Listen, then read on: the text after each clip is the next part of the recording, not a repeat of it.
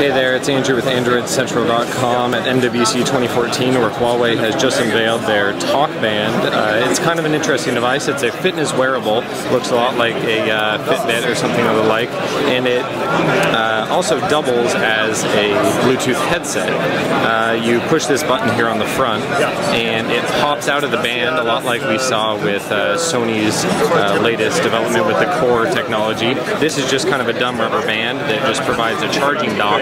And then this comes in as a standalone Bluetooth headset. See, we're having trouble, we're not connected to anything. But this is a uh, 1.4 inch OLED uh, screen, and it's a bendable screen, so it was uh, meant to be like that, of course. Uh, but the interesting part here is that um, this band uh, doesn't do a whole lot except for it snaps together, and then it also provides USB charging.